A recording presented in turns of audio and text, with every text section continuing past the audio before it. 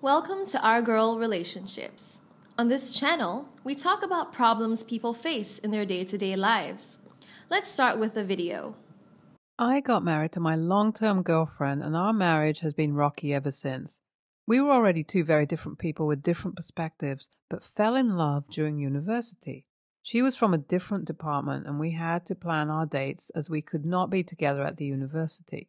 She was a popular girl in her department, and everyone knew about her. With popularity came controversies, and I had to keep a deaf ear as there were so many people who used to talk about her.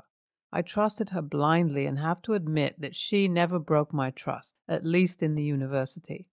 Everyone knew about us, as we were a popular couple. Some guys were interested in her, or a guy or two she had dumped, so there was a lot to hear about her, and we can say that she was a university celebrity. It was very tough for me to convince my family of this marriage. My sister knew her well and told my parents that she was way too bold for our family.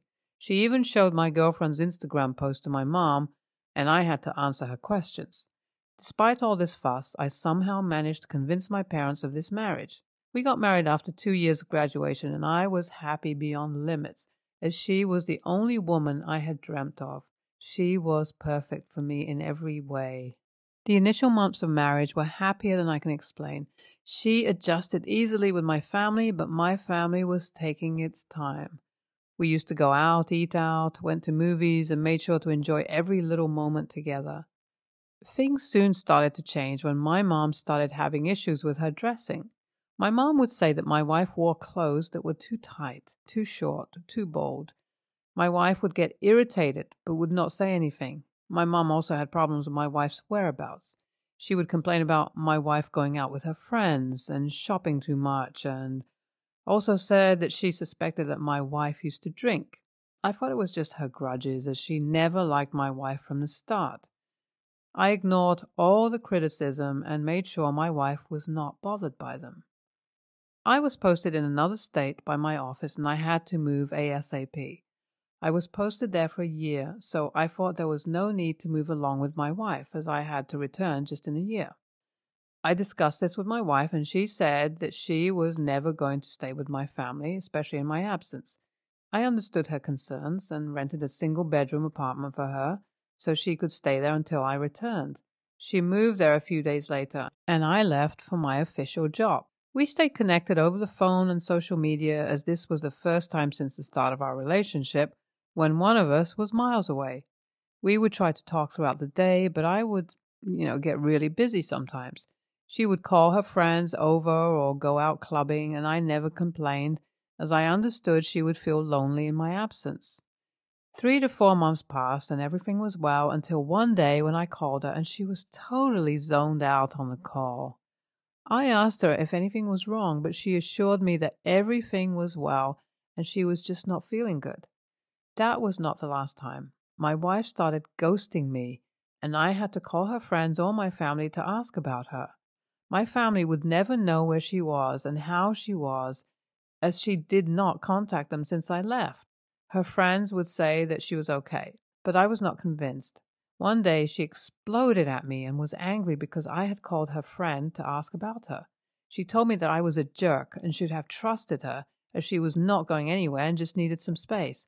I told her it was all right and hung up. This piqued my curiosity, as she never behaved like that before.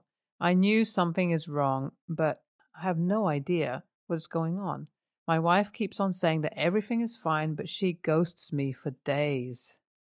I called my in laws to ask about my wife, and they said that they have no idea as she had contacted them a month ago. I asked my brother in law if he could go to her apartment and check if everything was all right. He assured me that he would go after the office and would inform me ASAP. My brother in law went to her apartment and no one was there. He rang the bell for quite some time and then called my wife to ask where she was, and she told him that she was at her friend's place. My brother in law asked her to call me and stay connected, and told her that I was worried about her. My wife called me after some time and asked who I was and how I dared to send her brother to check on her. I told her that I was only worried as she was not answering my calls and things were going weirder with every passing day. She asked me if I could just let her be and stop stalking her. I did not want to argue, so I cut the call. This never happened before, and it is sickening to the core. She has never talked to me like that and has never behaved as if she was bothered by me being protective. How can she change so much in a matter of just a few months? I sometimes think that it is the distance that has changed her. I was so worried to stay there and I, I had to return. I submitted an email to my office regarding an emergency at my home and requested my company to shift me back. I was back only after six months, and my family was surprised as they were not expecting me. I did not inform my wife about it as I was looking for what was actually happening. I only stayed at my parents' house for an hour and left for my wife's apartment. I rang the bell and waited at the door. She opened the door and literally froze in her place. She did not even let me in and asked why I returned that early. I told her that I was going to explain everything, but if she could just let me in. I went in, asked her how she was, and told her why I returned sooner than I had expected. During all the conversation, she was restless and zoned out. She could not even talk properly and stammered. Just the next day, my wife told me that her friend had met with a terrible accident and she had to go to her house soon. I booked a ticket for her and dropped her at the airport. She called me when she had landed, but did not talk for long. She again started ghosting me and did not respond to my calls or text messages. I pondered upon the situation and had so many questions in my head. Why was she not happy to see me? Why did she have to leave the very next day? Did her friend really meet with an accident, or was she just running away from me? Why the hell would she ghost me like that? I stayed at her apartment while she was away, and one day, when I returned from the office, I received a parcel that was meant to be delivered to her. I was putting that parcel in the drawer so she might have it when she returned when I noticed that it was from a medical lab. I was curious to know what it was about. I opened it and found reports in it. I quickly started going through the reports and found out that my wife was three months pregnant. I could not even move. I didn't even have the guts to call her and tell her that I had found out her secret.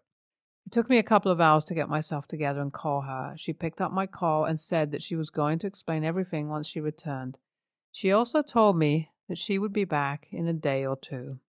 I guess she already knew the parcel was delivered through a text from the courier service. I am curious to know what she has to say now, what she is going to build up now. How would she justify this shameful secret? I cannot wait to see her.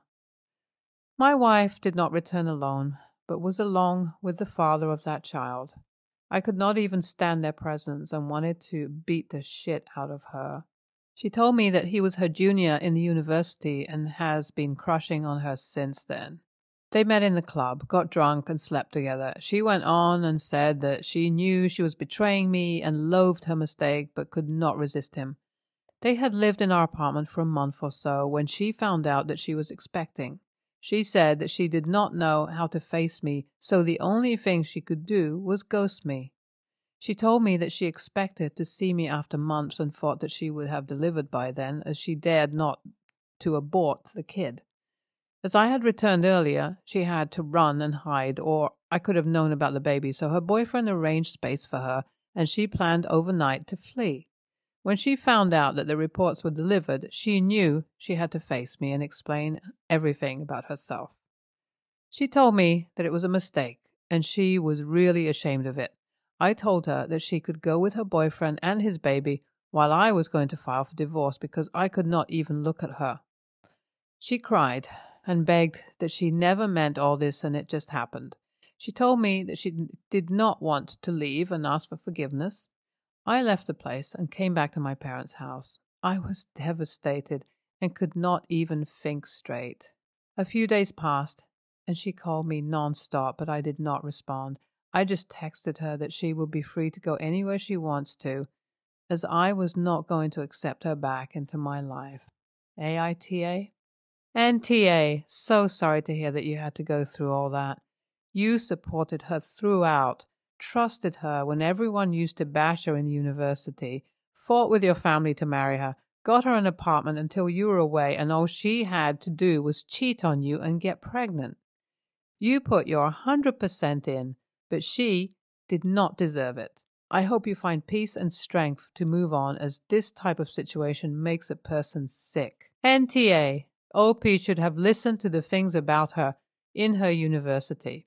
His family was right in saying that she would never adjust there as she was just not the type. OP's wife was such a filthy woman that she opted to cheat as soon as she was given the slightest chance. OP's mother had sensed her reality much earlier. How could OP stay that blind and deaf towards her true nature? I do not understand why she is begging now to go back. She should just get lost with her boyfriend and leave OP alone. Next story. My son is five years old. Me, I'm a 25 year old male, and my ex, 29 years old, were at a kid's birthday party last Saturday that my son got invited to by one of his friends at preschool. So my son loves all kinds of things. He plays with Barbies, Star Wars toys, cars, stickers, literally anything that catches his attention. My ex usually doesn't like this, but if he wants something, I'll get it for him. If he's been behaving, and not all the time, because we try not to spoil him even if it's something girly. At the party, it was frozen themed, and the girls' parents were giving out tiaras in the goodie bags for girls. My son sees this and he's like, How come he didn't get one? It was more the fact he wanted to feel included, or I guess he just wanted a tiara, but it didn't matter what the actual reason is. Either way, I asked my mom if they could switch goodie bags with one that also included a tiara, and she didn't mind doing that. He got his tiara to put on, so he was happy playing with his other friends after that. My son's mom, my ex, showed up a little later to the party. She saw him with a tiara and she wanted to tell him to take it off, but I took her aside and we started arguing. She was really, really mad. My ex said he shouldn't be wearing that stuff. It's not the first time we argue about this particular thing, so by now I'm already tired of it. I told her it's literally not a big deal. What he likes, he's a little kid. But all she says is he's going to, to like girly things in the future if we don't nip it in the bud, and this could maybe make him think he's gay or something. TBH, that whole line had me so fed up, and I pretty much called her a drama queen because she's making a big deal out of nothing. She wanted to talk more, but I just left her there alone to go back into the party. My ex didn't say anything to him about taking it off, so you could tell, though, that she was mad because it was that silent mad. For days, she hasn't let that go because I dismissed her valid feelings about our child, and she has a right to voice what she thinks when it comes to him without me insulting her about them. For things that matter, yeah, I'm always going to take in what she says because she's his mom. But about being worried about something in the future that shouldn't even be seen as a negative thing, I feel like it's not a big deal. But well, that's probably why I'm here, just asking if I'm TA for how I handled things with her. LOL, NTA, your ex is home transphobe and projecting it onto a five year old who just wants to play with stuff. It's really no big deal, and even if he ends up being more girly, gay, trans, then still not a big deal. Keep supporting your kid in whatever he wants to play with. NTA, but she is. You sound like an awesome, supportive dad. You should ask her, what does it matter if he likes girly things? Will it kill him? Will it stunt his growth? Will it affect his education and health?